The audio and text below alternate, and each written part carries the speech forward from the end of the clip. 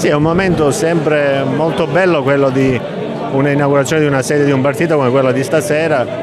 perché mette insieme tante persone che si impegnano per il territorio, quindi non è solo una piazza virtuale, che anche quella è importante ormai, ma una piazza reale dove potersi incontrare di persona, scambiarsi delle opinioni, condividerle e portare avanti anche delle idee perché queste idee possano poi realmente trasformare la nostra regione. Ma noi guardiamo sempre pensando ad un progetto,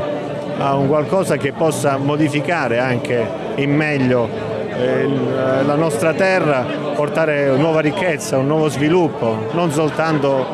idee generiche, ma un progetto legato alle varie identità territoriali, perché eh, la Calabria ha grandi risorse, grandi potenzialità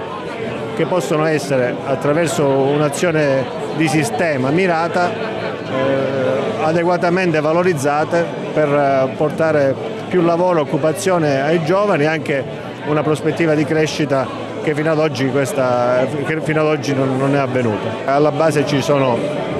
le idee, c'è la condivisione delle idee e poi si parte anche con queste idee per portarle avanti.